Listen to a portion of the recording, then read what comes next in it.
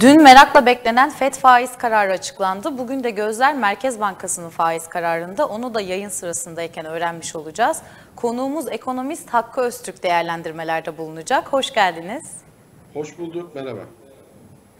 Merhaba, vakit ayırdığınız için teşekkür ediyoruz öncelikle. Ben teşekkür ederim. FED Mart ayında faiz arttırımına gitti ve faizleri %0.25-0.50 aralığına yükseltti. Merkez Bankası'nın kararını da merakla bekliyoruz. Alınan kararı nasıl yorumluyorsunuz? Piyasaya etkisi nasıl olur? Yani zaten e, Fed'in 25 e, bas puan faiz arttırması beklenen bir şeydi. E, yani dolayısıyla piyasalar için çok şaşırtıcı bir şey yok. Hatta yani Fed'in sadece 25 e, bas puan e, faiz arttırımıyla kalmayacağı, e, bu yıl genelinde yapacağı yaklaşık bundan 6 tane toplantı kaldı. O toplantılarda da FED kararı açıklanmadan önce faiz arttırım beklentileri vardı. FED de dün bunu Powell yaptığı toplantıda teyit etmiş oldu. Dolayısıyla zaten bunu noktasal grafikte de görüyoruz. 2022 sonu için faiz öngörüsü %1.9'a e, e, çıktı e, Datplat'ta. Dolayısıyla bu ne demek? Yani 2022'de şu an kalan 6 toplantı var. 6 toplantıda da şu an için beklenen 6 tane daha faiz artışı bekleniyor. Yani dolayısıyla zaten tabii Amerika'da niye böyle bir karar alınacağını bekliyordu piyasalar. E tabii Amerika'da enflasyon çok yükselmişti. Biliyorsunuz yani 7.9 enflasyon, tüketici enflasyonu. Yani tabii keşke biz Türkiye'de o kadar düşük olsa diyoruz ama onlar için çok yüksek bir enflasyon bu. E, dolayısıyla yani 39-40 yılın en yüksek enflasyonu Amerika'da bakın %8'in altında olan enflasyon. E, dolayısıyla Fed'in e, en büyük e, görevi de nedir? Fiyat istikrarını sağlamak ve aynı zamanda maksimum istihdamı sağlamak veya işsizliğin düşmesini sağlamak. Ama zaten e, pandemiyle beraber işsizlik çok yükselmişti tabii ki tüm ülkelerde olduğu gibi. Ama FED tekrar e, işsizliği işte uygulanan hem maliye politikaları hem genişleyici para politikaları işsizlik tekrar %3.8'e düştü. E, zaten pandemiden önce de 3.5 civarındaydı. Neredeyse pandemi öncesi seviyelerine geriledi. E, dolayısıyla burada FED artık enflasyonla mücadele etmek için e, bütün araçlarını kullanacağı beklentisi vardı. Zaten Powell'da e, yaptığı toplantıda e, şeyden sonra e, karardan sonra soru cevap toplantısında e, bunların üzerinde durdu. Hatta e, tabii ki şunu söyleyelim e, normal olarak e, aynı zamanda e, Rusya'nın Ukrayna'ya saldırmasından dolayı tabii tüm petrol emtia fiyatları yukarı gitti. Dolayısıyla tüm dünyada bu enflasyon üzerine yukarı yönlü bir baskı yapıyor. E, büyüme üzerine de bir miktar negatif baskı yapıyor. Dolayısıyla FED de e, yeni projeksiyonlarda e, büyümesini e, 2022 yılı için %4 tahmin ediyordu önceden. Onu %2.8'e düşürdü. E, enflasyon tahmininde Fed'in özellikle baktığı PCE enflasyonu var. İşte bu kişisel tüketim e, harcamaları. E, dolayısıyla onu da %2.6'dan %4.3'e yükseltti. Yani enflasyon beklentilerinde bir yükseliş, büyümede bir düşüş tahmini oldu normal olarak. Ama e, Powell hatta şunu da söyledi. söyledi e, faiz artışlarında daha hızlı hareket edebiliriz dedi. Para politikasında daha hızlı aksiyon alabiliriz dedi. Bu dedi e, bu hareketin boyutu e- ekonominin gidişatına bağlı olduğunu söyledi. Ya yani aslında bu ne demek? Yani e, hala her ne kadar 25 bas puan faiz arttırımları beklense de her toplantıda e, gelecek yeni data ve ekonominin gidişatına göre bu 50 bas puanına da çıkabilir. Yani 50 bas puanı da e, masanın üzerinde bıraktı. E, yani enflasyonun işte bu yıl yüksek kalacağını söyledi. E, tabii savaşın getirdiği risklerin olduğunu söyledi ama bunun Amerikan ekonomisine e, etkisinin şu an için belirsiz olduğunu ancak enflasyonu e, bu yıl için bir miktar daha işte petrol ve emtia fiyatlarının e, yüksek kalmasından dolayı enflasyonu bu yıl için bir miktar daha yüksek seviyelerde olmasını sağlayacağını söyledi. Ha bir de şey önemliydi tabii bilanço daraltması ile ilgili biliyorsunuz Fed'in e, bilançosu e, yaklaşık pandemi öncesinde 4,5 trilyon dolar falandı. İşte 8,9 trilyon yani 9 trilyon dolara çıktı kabaca. Dolayısıyla çok büyük bir bilanço. E tabii bir bilançonun e, küçülmeye başlayacağını bu sene E, ama bunun için önümüzdeki toplantılarda e, para verileceğini söyledi. Yani bilançonun küçülmeye başlaması demek değil mi? E, piyasadan aslında para çekilmesine, verilen paranın yani basitçe anlatayım, e, tekrar geri çekilmesi demektir. Ama dolayısıyla bunun, için yani çok detaylı bir takvim açıklamadı. Önümüzdeki toplantılara bırakacağını söyledi. E, tabii bir miktar önce biraz yani bunlar şahin algılandı. ABD 10 yıllıkları 2.23, 2.24'lere kadar yükseldi ama ondan sonra tekrar 2.17, 18'lerde kapadı galiba. E, tekrar geri geldi. E, dolayısıyla yani çok beklenen, e, çok gerçekçi bir toplantıydı. Dolayısıyla e, herhangi bir sürpriz olduğunu ben düşünmüyorum. Ama tabii ki yani şunu söylemek lazım. Burada önemli olan e, Fed'in sıkılaşmasının faiz arttırımlarının e, herkesin bildiği üzere e, gelişmekte olan ekonomilere değil mi? Türkiye'nin de içinde olduğu emerging market dediğimiz e, yani tabii ki olumsuz etkileyecek. Çünkü dolar faizleri artacak. E, bu doların güçlenmesi anlamına gelecektir. E, dolayısıyla aynı zamanda işte ABD 10 yıllık tahvil faizleri artıyor. E, otomatikman bu Türkiye'de de e, ister istemez faizlerin artmasına ve aynı zamanda e, bizim tabii risk primlerimiz de çok yüksek. Biz kabaca yurt dışından borçlanırken yani kabaca dolar faizi yani dolar libor faizi artı risk primi kabaca borçlanıyoruz. Dolayısıyla risk primlerimiz de... istiyordum. E, FED 2018 Kasım ayından sonra ilk defa faiz arttırmaya gitti ve sizin de söylediğiniz gibi 6 artış daha bekleniyor. Ee, peki bu durumda eğer artışlar gerçekleşirse dolar nereye gider ve Türkiye'ye bunun etkisi ne olur? Ya bunlar tabii yavaş yavaş şu an için fiyatlanıyor. Yavaş yavaş fiyatlanıyor, fiyatlara giriyor ama tabii ki sadece Türkiye için değil, diğer gelişmekte olan ülkeler için de e, bunun etkisinin olumlu olduğunu söyleyemeyiz. Yani tüm çünkü gelişmekte olan ülkeler nasıl borçlanıyor e, dolar bazında? Kabaca dolar faizi artı risk primi. E, diğer gelişmekte olan, şimdi dolar faizi yukarı gidiyor. E, gittiği zaman ne olacak gelişmekte olan ülkeler? Eğer risk birimi sabit kaldığı takdirde yine yüksek maliyetten borçlanacak ülkeler değil mi? Gelişmekte olan ülkeler.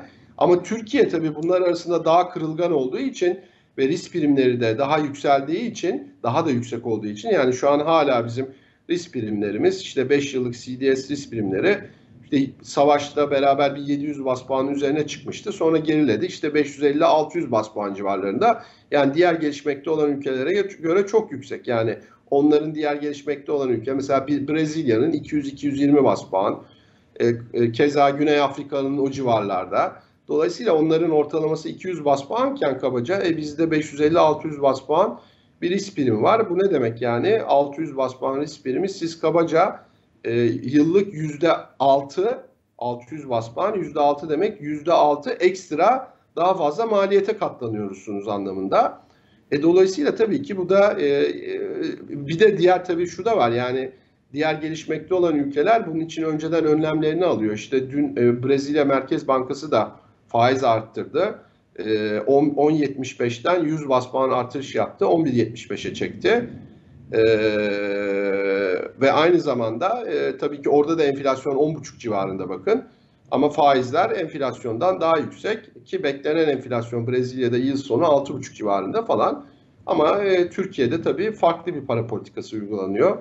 E, Sayın Bakan'ın da söylediği gibi artık para politikası ikinci e, önemsizleştirilmiş bir durumda e, artık devre dışı bıraktık diyor Sayın Bakan para politikasını. Dolayısıyla tabii ki bu da Türkiye üzerindeki riskleri arttırıyor.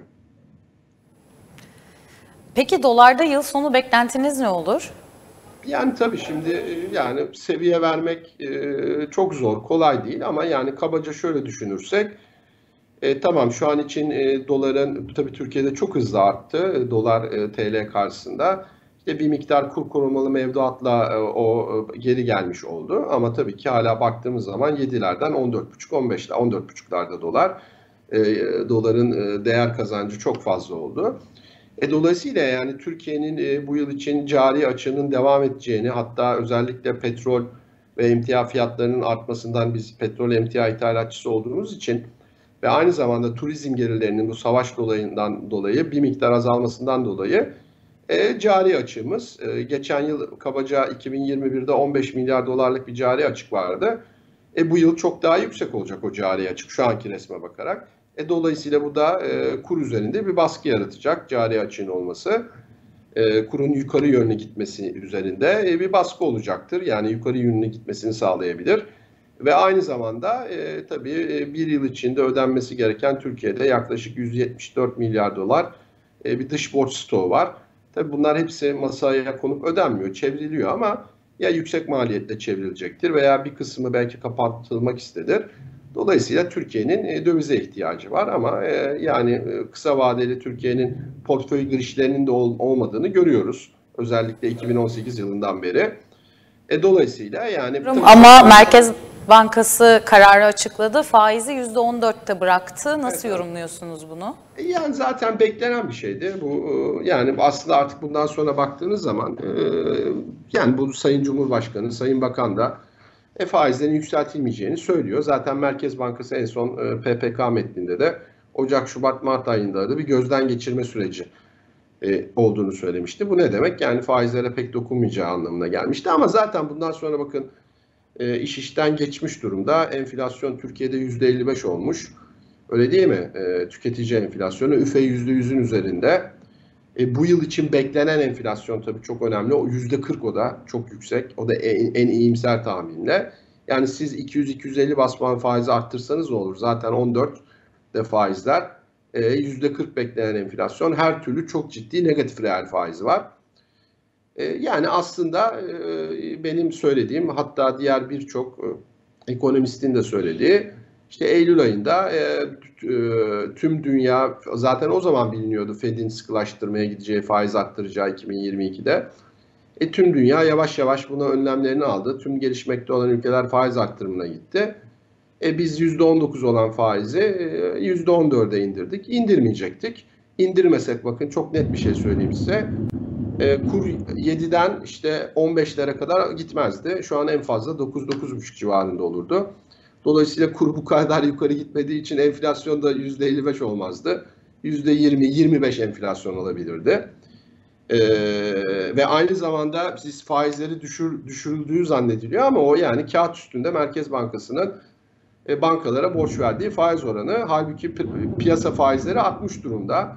Hem kredi faizlerine bakın 3-4 ay öncesine göre ticari kredi faizlerine hem özellikle hazinenin borçlanma maliyetlerine bakın TL bazlı. 2 yıllık mesela devlet tahvili %17'lerdeydi. 10 yıllıklar %17'lerdeydi Eylül ayında. 25-26'lara çıktı. Yani hazinenin borçlanma maliyeti arttı. Borçlanırken daha fazla faiz ödüyor hazine. E aynı zamanda e, Eurobond yani dolar cinsi borçlanma maliyetleri de arttı. Eylül ayında ben çok net hatırlıyorum. 5,5'larda falan borçlanabiliyorduk biz. O da bir ara yani bir hafta öncesine kadar 9'ların üzerine çıkmıştı. Şimdi biraz geri geldi. O da 8,5'larda falan. Bunlar çok ciddi artışlar ve aynı zamanda işte 300 bas puanın biraz üzerinde olan risk primi de işte 550 bas üzerinde 600 bas puanlar falan civarında. E, dolayısıyla e, yani e, biz eğer faizleri indirmeseydik ve aynı zamanda hep işte konuşuluyor halk e, hissedilen enflasyon da çok fazla. Çok daha fazla. Biz resmi enflasyondan bahsediyoruz. Yani benzin fiyatları da kabaca akaryakıt fiyatları da bu kadar artmayacaktı. Yani tamam petrol fiyatları dolar bazında arttı ama siz bir de burada e, TL değer kaybedince dolara karşı çok daha fazla hissediyorsunuz. Çok daha fazla artıyor. Yani Avru Avrupa'da ortalama %30, %25, %30 benzin akaryakıt fiyatları artmışken Türkiye'de son 4 ayda değil mi %90 civarında akaryakıt fiyatları artmış oldu. Bunların hiçbir tanesi olmayacaktı. Yani şu an için artık biraz iş işten geçmiş gibi gözüküyor. Yani 200-250 bas puan faizle arttırsa 14, 16, 17, 18 yapsa yani 20 olsa ne olacak? Yine enflasyon %55 hatta %65'e gitmesini bekliyorum ben e, önümüzdeki 1-2 ay içinde. Tabii önemli olan beklenen enflasyon. Beklenen enflasyon da e, önümüzdeki bir yıl içinde en iyi ihtimalle %40 yani her türlü çok ciddi bir reel e, tarafta negatif taraftasınız. dolayısıyla işte bu biraz kur korumalı mevduata güveniliyor.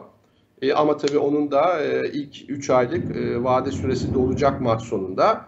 E, sadece tabii adı üstünde kur korumalı mevduat e, vatandaşları enflasyona karşı korumuyor. Dolayısıyla artık vade bitiminde vatandaşlar tabii tekrar e, karar verecekler. Ee, ben bir soru daha sormak istiyorum size. Rusya'nın Ukrayna'yı işgali, bir yandan FED ve Merkez Bankası'nın faiz kararları derken bu kaosun ortasında yatırımcılara, vatandaşlara, nasıl bir tavsiyede bulunursunuz? Dolar mı yoksa altın mı daha mantıklı olur? Yani şimdi tabii bunlar her herkesin e, yani burada e, po- e, portföy e, tavsiyesi vermek çok doğru olmaz. Çünkü herkesin vadesi farklıdır. Hangi vade için ve herkesin risk al- algısı farklıdır. E, ne kadar risk alabiliyorlar. E, dolayısıyla çok doğru olmaz ama yani e, şu an için gözüken e, doların e, önümüzdeki dönemde güçlü, tüm dünyada güçlü olacağı gözüküyor. Sadece onu söyleyebilirim ben. Çok teşekkür ediyoruz vakit ayırdığınız için. Ben FED ve Merkez ederim. Bankası'nın kararını konuğumuz ekonomist Hakkı Öztürk'le değerlendirdik. Bir sonraki yayınımızda görüşmek üzere.